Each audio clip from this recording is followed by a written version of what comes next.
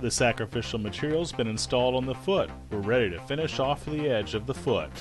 Now that those panels are secured, we'll run a length of UV protective Dacron tape down the length of the foot and we'll pre-fold it in half. We often use the edge of a sharp table to crease the Dacron tape. We recommend you do that. Then we apply double-sided tape to both inner edges of the Dacron tape. Trim off any fabric that's uh, over the edges and then baste that tape in place right along the foot edge of the sail. Any part of the sail that wasn't covered with the sacrificial will now be covered with this tape. We'll also baste the top portion of this tape together by peeling off the transfer tape, revealing the glue, and basting it in place on top. That sandwiches the sacrificial and the sail in the middle of the Dacron tape.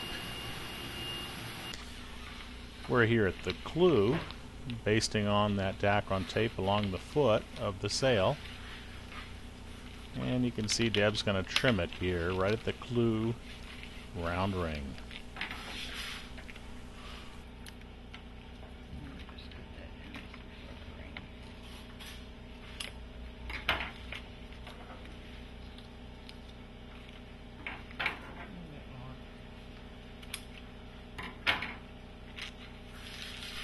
If you're not happy about the way the tape is laying down, you can always peel it back up and reapply it.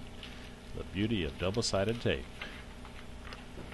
Alright, we're ready for sewing. Now sew a zigzag along the inside edge of the tape.